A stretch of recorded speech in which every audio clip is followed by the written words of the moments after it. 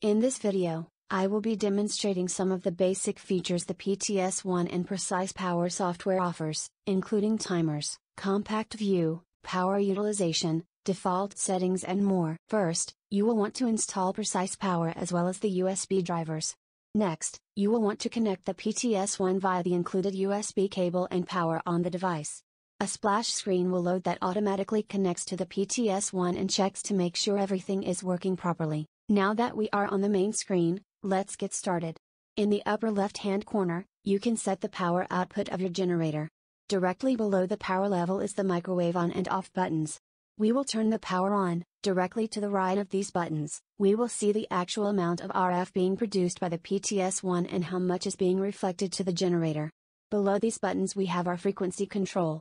If in a sweeping mode, you will have a start and stop frequency, if in single frequency mode the stop frequency will become grayed out. These parameters can also be set using the vertical and horizontal cursors located on the graph. This can be done in real time without turning the power off. There are also small up and down arrows located next to the input boxes, directly below our frequency control box, we have the five main modes of operation for the PTS1. Single frequency, plasma, basic sweep, band map and analyze load. Directly below these buttons we find the status LEDs which show the state of the unit. Next we will demonstrate how to deal with a fault. The PTS1 has several built-in microprocessors, these help to monitor the state of the system at all times to help protect itself and the user. In this example, the system has detected that someone pushed an emergency stop button which can be hardwired into the back of the generator. The system immediately shut off the output and alerted the user as well as illuminating the correct status LEDs. The front panel fault LED on the hardware is also illuminated. At this point, the user has to correct the problem and either clear the fault to proceed, or exit the program. Microwaves cannot be turned back on until this has happened. Once cleared, the system returns to normal operation. Below the status LEDs we will see the temperature sensors. These monitor to make sure the ambient air or cooling water, as well as the transistors, do not get too hot and get damaged.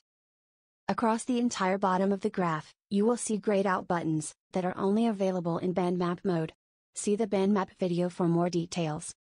The bottom right side of the screen we have a graph legend, which describes what each colored line on the graph represents. Directly above it, is the band map table, again this is only applicable for band map mode. Next, in the upper right hand corner of the screen you can find the version of Precise Power you are running. Next you will find the input source button, this allows you to use the PTS1 as a linear amplifier. Next you have the modulation button which allows for PWM operation.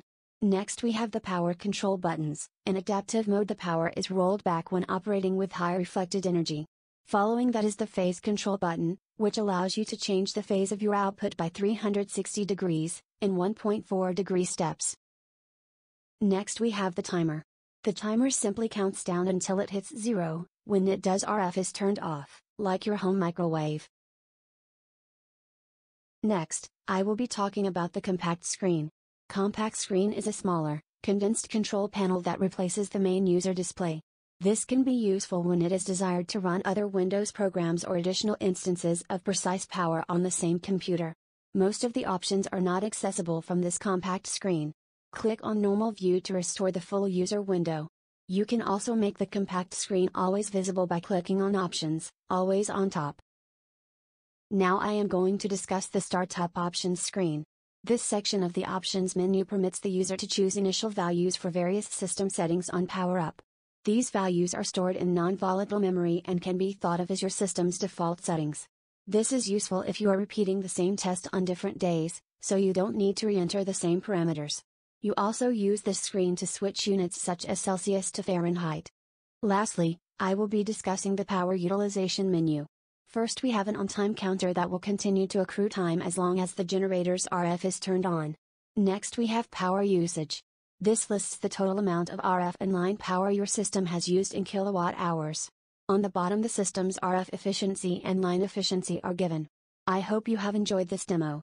Precise Power is a feature-rich program that becomes a very powerful tool when paired with solid-state RF generators. Thanks for watching. Please contact us for more information.